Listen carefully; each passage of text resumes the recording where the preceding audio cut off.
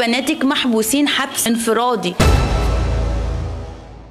مفيش شمس مفيش ضوء مفيش قمر ما بشوف الشارع. أنا بناتي لما رحت البلد ضربوني سحلوني سحلوني. البنات خلاص خدوهم من تحت رجلي من العصر لغاية العشاء وأنا بست بستغيث أنا وإخواتي ضرب ضرب رجالة. مفيش حريم ضربتنا كله رجالة يضربوني ليه؟ طبعا أنا كنت في نصيبه إن أمي والدتي توفت.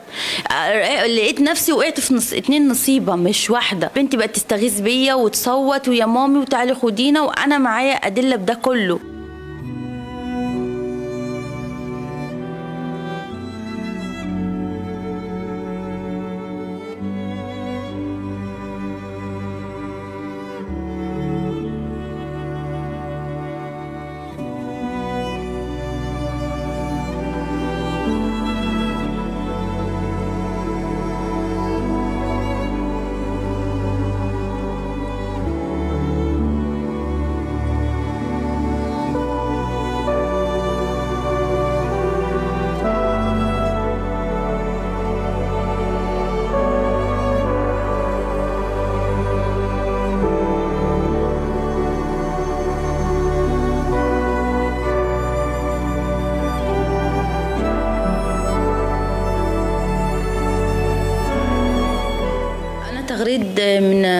تغريد من الشرقية فاقوس آه، عندي 33 سنة.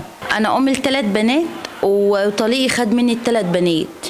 آه، أنا بناتي ما ينفعوش يعيشوا في بيت كله إعاقة. آه، بناء على إيه الإعاقة؟ ان مامتهم مطلقة ثلاث سلاف زي كده. يعني سلفتي الكبيرة وأنا وأنا الوسطانية وفي سلفة تانية أصغر مني. يعني بيتهم أصلا كله خربان وبيت فاشل. أنا بناتي عايشين عيشة كويسة. ما ينفعش يعيشوا أصلا في المكان اللي هم فيه خالص نهائي. طيب ماما جت. أنا مطلقه بقالي تسع سنين. أنا قعدت ست سنين مطلقة وجيت قعدت آه، ست سنين مطلقة. ما اجى لي واحد ابن كويس وابن حلال وافقت بيه. آه، اسمح لي زي ظروفي وافقت بيه. طيب اما جت جت ماما آه، أنا جيت اتجوزت. حضانة اصبحت اتنقلت لماما. طيب ماما ماما بقى بقى بقى 11 شهر متوفية. أنا اتفاجئت زينا الخبر على موت ماما الساعة 2 الظهر. كان دفناها بعد المغرب بعد العشاء بعدها كده بشوية لقيت اتفاجئت إن البنات مش موجودين في الميتم خالص الثلاثه طبعا أنا كنت في نصيبة إن أمي والدتي توفت. آه، لقيت نفسي وقعت في نص اتنين نصيبة مش واحدة. طيب أنا رحت ال- ال- بنتي بقت تستغيث بيا وتصوت ويا مامي وتعالي خدينا وأنا معايا أدلة بده كله. وبتعيط. هاتي آه، وبعدين إيه؟ رحت جاية رايحة البلد عندهم. يعني أنا رحت ما بنتي استغاثت بيا رحت بلدهم. أول ما دخلت أنا عايزة بناتي لا مش هتطلعي بالبنات لا دي الولا مسكني ضربني طليقي ده ضربني وعلى يد البلد كلها. لا ومش كفاه كده لا حط بقول حطت برشا حباية الغلة في بقي عشان البلد تهيج عليا.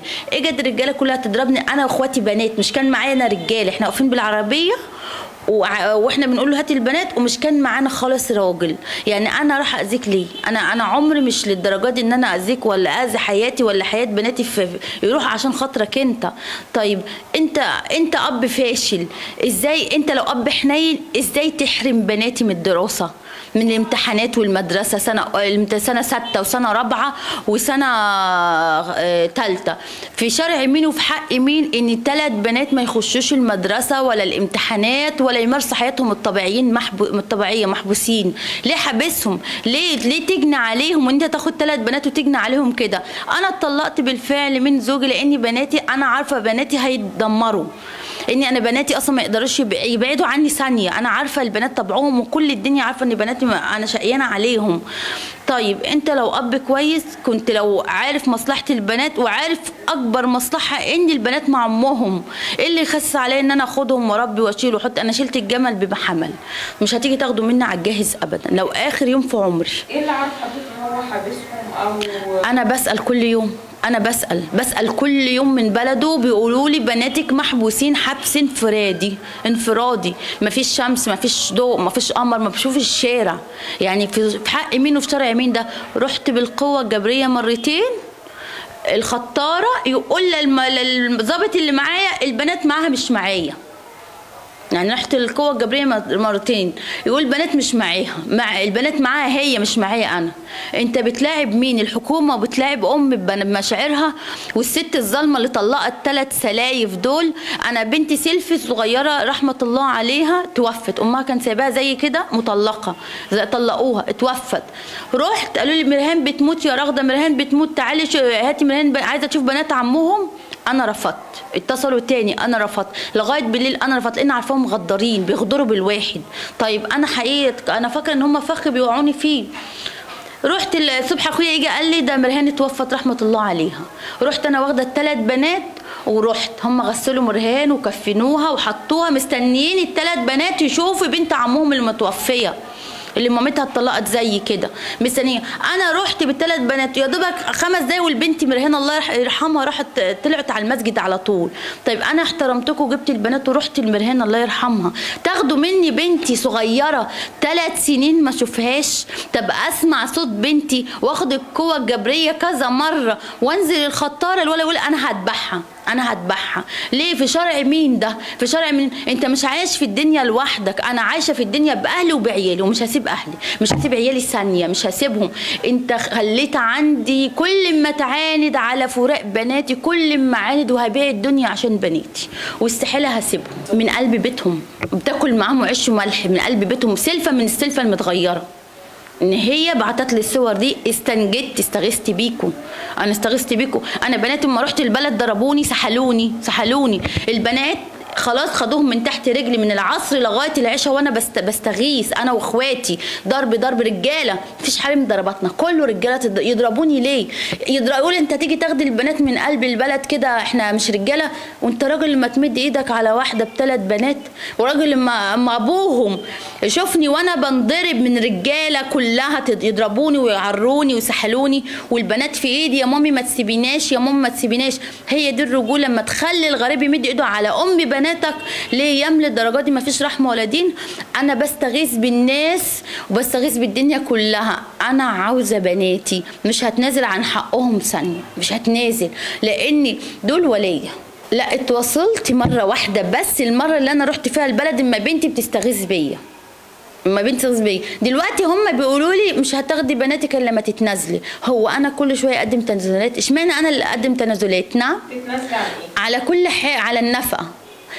طيب أنا ما عمري ما طلبت منك ولا جنيه ولا عمري قلت لك هات نفقة ولا رفعت التليفون وقلت لك بناتك محتاجين. ده أنت أصلا يعني بقيت يتيم بالنسبة لهم وهم كل الدنيا عارفة كده. عمر ما بعت حتى ظرف فيه ألف جنيه على البيت لبناتي. عمر ما سأل البنات وراهم دروس ومدارس خدي يعيني الواحدة. لا ما فيش الكلام ده. وأنا بصراحة مش كنت عايزة منه حاجة. الحمد لله حالنا مستور ومش عايزة منه حاجة.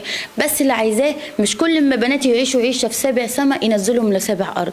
إن بنتي ما تاكلش ولا تشربش ولا عايشين عيشة ليه الظلم ده؟ ليه الظلم يقع على ثلاث بنات؟ ذنبهم إيه في أنت أب فاشل؟ إيه الذنب؟ ذنبهم إيه إن أنت مراتك وأمك وأهلك وعيلتك كلها؟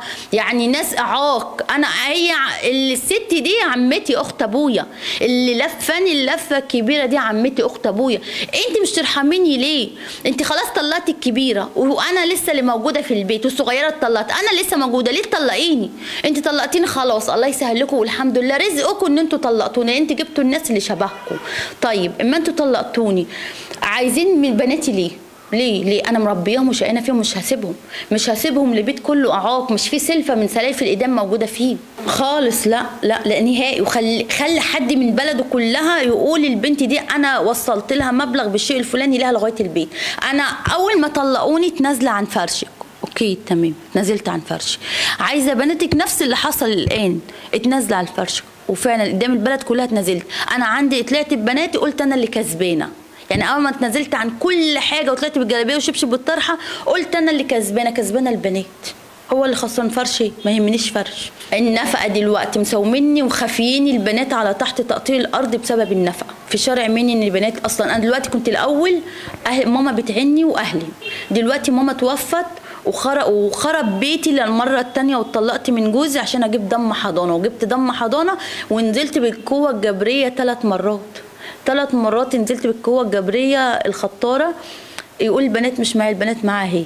يا من الدرجات دي جبروت يا مش مش خايف مني أنا مش خايف من الحكومة. مش هتسيبك الحكومة وهتجيبك اصبر بس. أنا بقول آه، ربنا يحرق قلب كل منعان الظالم على المظلوم. ربنا يحرق كل قلب هناء وتغريد وأمها. بحق ما حرقوا قلب بناتي هم علي. أنا قلبي مش محروق على بناتي. بناتي اللي قلبهم محروق عليا أنا. أنا عارفة أنا بالنسبة لبناتي إيه.